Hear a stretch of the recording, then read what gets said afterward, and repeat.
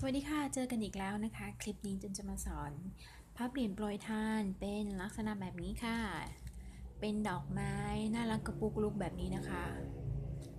มีด้านข้างนี้ด้านหน้านะคะ มีใบด้วยวิธีทำจะเป็นยังไงนะคะ ไปดูกันเลยการพับเหรียญโปรยทานแบบนี้นะคะ เราจะต่อยอดจากการพับกุหลาบดอกกุหลาบแย้มนะคะ นั่นคือแบบนี้ นี่คือดอกกุหลาบแย้มค่ะ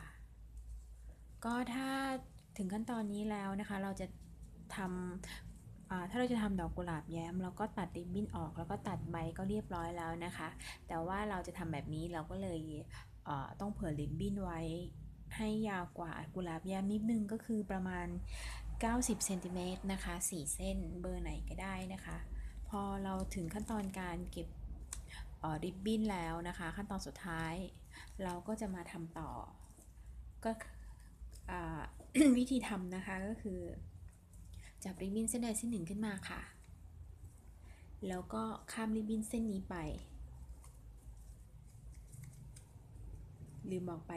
พลิกริบบิ้นมาด้านหน้า แล้วทำให้มันเหินขึ้นไปด้านบนนะคะ แล้วก็ข้ามริบบิ้นหนึ่งเส้นไป แล้วก็โค้งริบบิ้นลงมาแบบนี้ วิธีสอดคือสอดริบบิ้นเข้าไปในกลีบกุหลาบค่ะ กลีบกุหลาบแบบนี้ สอดเข้าไปเลยนะคะ มันก็จะโผล่แบบนี้ นี่ อันนี้คือ อันนี้คือกลีบที่เป็นที่เราใช้ริบบิ้นนะคะ ที่จะมาทำต่อ เราต้องข้ามอีกกลีบหนึ่งแล้วมาสอดกลีบนี้ เห็นไหมคะ แล้วให้มันมาโผล่ตรงนี้ พอเราสอดเสร็จแล้วเราก็ดึงนะคะ แล้วเราก็เอาตัวนี้ค่ะ ซุกเข้าไปในกลีบ หน้าตามันก็จะเป็นแบบนี้ ทำแบบนี้นะคะให้ครบทั้ง 8 เส้นค่ะ เส้นต่อไปก็คือเส้นที่เราข้ามมาเมื่อกี้นี้นะคะทำเหมือนกันก็คือ ดึงขึ้นไปข้างบน แล้วก็โน้มลงมาด้านล่าง ข้ามเส้นริบบิ้นหนึ่งเส้นไป แล้วก็ใช้ริบบิ้นสอดเข้าไปในกลีบกุหลาบ จะสอดยากนิดนึงนะคะ แต่ไม่ได้ยากมาก ริบบิ้นก็จะโผล่มาแบบนี้ดึงให้กระชับ เอามือซุก ตัวนี้เข้าไปข้างในนี่ค่ะ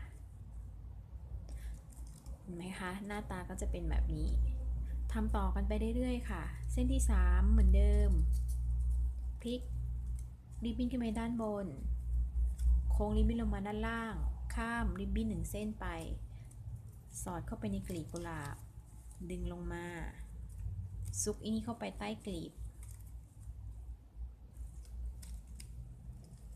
เส้นต่อมาทำเหมือนกันค่ะ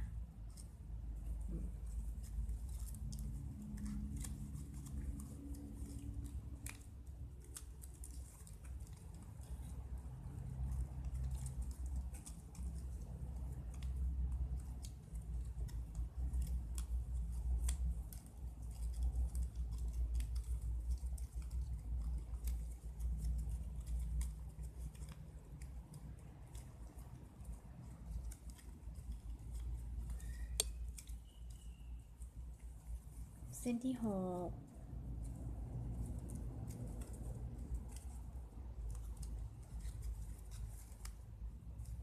เส้นที่เจ็ด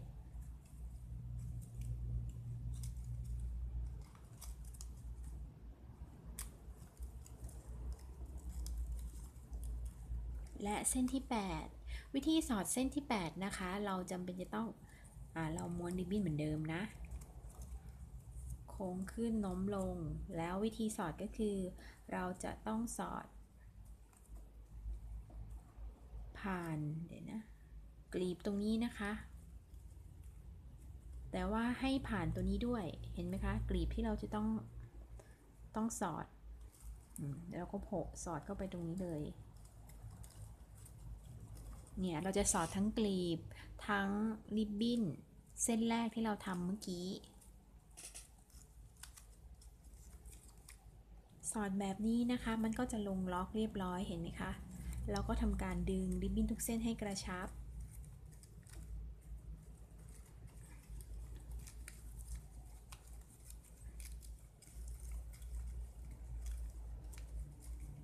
พอดึงให้กระชับเสร็จเรียบร้อย หน้าตาจะเป็นแบบนี้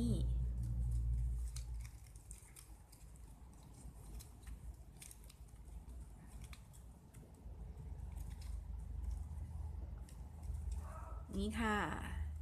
เสร็จแล้วเราจะมาทำการเก็บริบบิ้นเป็นขั้นตอนสุดท้ายนั่นก็คือพลิกขึ้นมา แล้วก็เอาริบบิ้นสอดเข้าไปแบบตรงๆค่ะ เป็นการเก็บริบบิ้นขั้นตอนสุดท้าย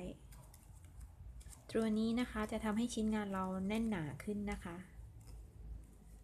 สอดไปเลยค่ะ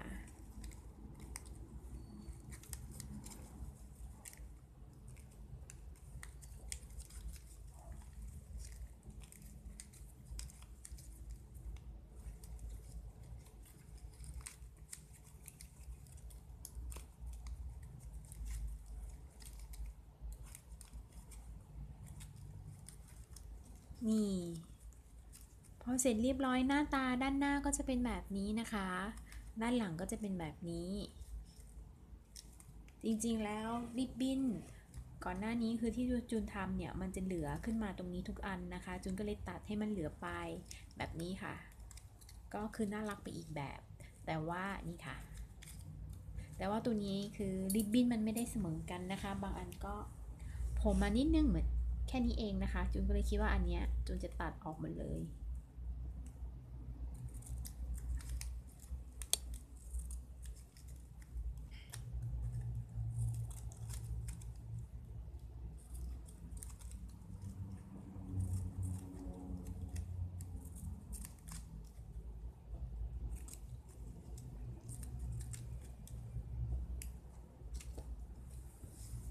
ตัวดอกเสร็จแล้วมาดู